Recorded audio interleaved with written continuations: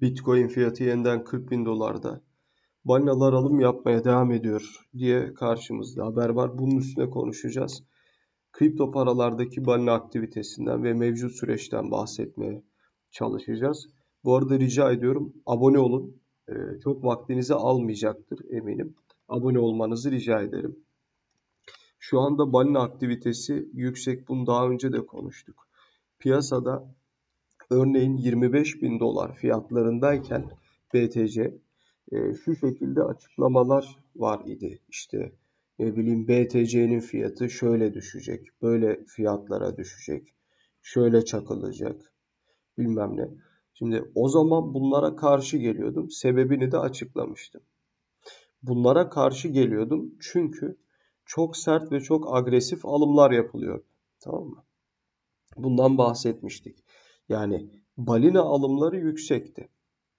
Bu farklı altcoin'lerde de böyleydi o zamanlar. İşte AVAX ve Sol'da örneğin çok Sol'da hele öyle bir balina alımları vardı ki aşırı derecede tabi bunlarla alakalı konuştuk.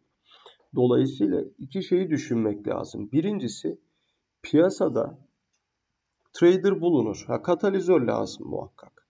Hani e, eğer ki katalizör varsa trader olacaktır. Burada bir problem yok. İlk olarak bunu bir e, cebimize koymamız lazım. İkinci, ikinci bir diğer önemli mesele, asıl önemli olan şey, daha önce de bahsettim, elde tutma oranlarının yüksek olması. Asıl önemli olan şey bu. Ve likit bir varlık haline gelmesi. Bu BTC'de vardı.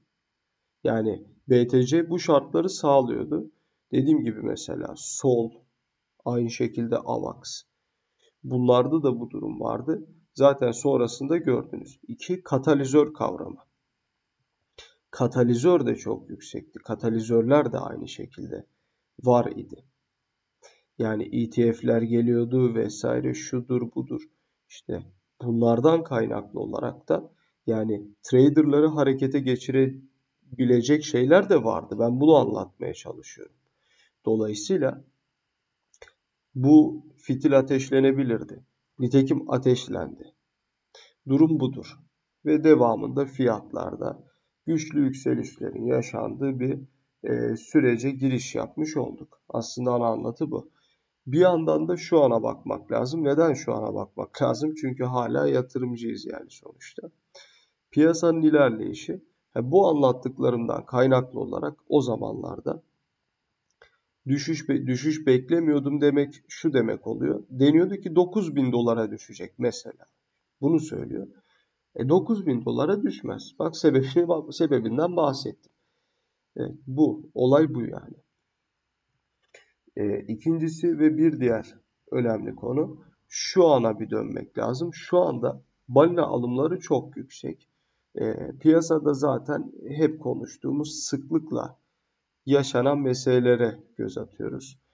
Burada traderlar çıkar, balinalar alım yapar. Bu kadar. Yani e, olay muhabbet budur. Traderlar çıkar, tekrar söylüyorum balinalar alım yapar. Traderlar telafi edilir. Her zaman traderlar telafi edilmiştir.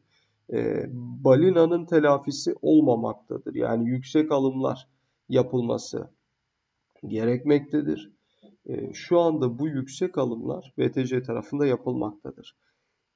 Sadece BTC tarafında yapılmamaktadır. Bak XRP, Shiba, ADA, Sol bunları da hatırlamak lazım. İşte bu altcoin'lerde de e, çok yüksek minvalde alımlar var şu anda. İşte bunlarda da güçlü fiyat yükselişleri olabilmesi için büyük bir sinyaldir yine aslında bu. Bu altcoin'lerde tamam mı? Tekrar XRP, Shiba, Pip'inki de fena değil bu arada. Pip değil. XRP, Shiba, Doge, ADA. Bunlar da şu anda e, gayet yüksek, gayet sağlam, güçlü balina alımları e, karşımıza gelmeye devam ediyor. Dediğim gibi bu tarz altcoin'lerin balina aktivitesinin yüksek olması ve alım yönlü alım halli olması her zaman pozitiftir. Piyasadaki yükseliş haliyle birlikte kendisini yeniden öne çıkarabileceği anlamı taşır. Ee, burada adı geçen mevcut varlığı. Bu altcoin'lere o yüzden ekstradan dikkat edin. Bu arada gün içinde konuşacağız. Tabi BTC şu anda pozitif hareketler yapıyor, yükseliş yapıyor. E, günlükte destek direnç noktası ya yani 40.5 binleri e, kırmaya çalışıyor. Kırıp kıramaması arasında tabii ki fark vardır ama ne olursa olsun daha önce de bahsettik. Mart'a kadar hala piyasada aksiyon aramak çok mantıklı değil. Mart'a kadar piyasada aksiyon beklemeyin. Bitcoin fiyatı yeniden 40 bin dolarda balinalar alım yapmaya devam ediyor. BTC fiyatı bu hafta başında 39 bin dolara düştü. Ancak satış baskısı devam ettiğinde Bitcoin balinalar her düşüşe alım yapıyor gibi görünüyor. İşte ben de bunu söylüyorum. Bu çok doğru. Hem Bitcoin'de hem de az önce adından söz etmiş olduğumuz altcoin'lerde fiyatlar düştükçe dip fiyatlardan alım yapılıyor. Ve bu durum mevcut varlığı olası durumda vakti geldiğinde katalize edildiği zaman bak katalize edildiği zaman fiyatların yükselişe çekileceğini ve mevcut süreçte hızlı yükselişler e, yapacağı gerçeğini ortaya koymuş oluyor. Bundan bahsediyoruz. Aynı zamanda tabii bir yerde düşüşlere de ayak diriyor olması ile karşımıza geliyor. Ne demek düşüşlere ayak diriyor? Yani fiyatlar geri çekilirken aynı zamanda kısa vadedeki düşüşleri de zorlaştırıyor bu tarz muhabbetler.